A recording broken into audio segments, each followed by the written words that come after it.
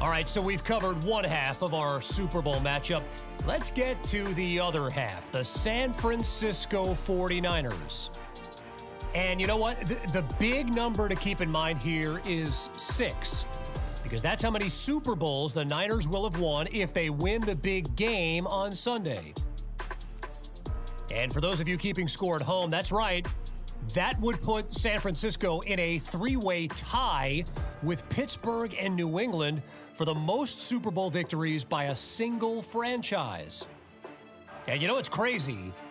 Those of us of a certain age remember when the Niners won Lombardi Trophy after Lombardi Trophy in the 80s and 90s.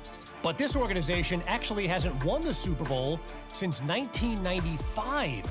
The days of Steve Young, Jerry Rice, Deion Sanders, all Hall of Famers, by the way. Almost sounds like a lineup straight out of someone's ultimate team in Madden. And by the way, speaking of Madden, you know they ran the simulation for who's going to win the big game.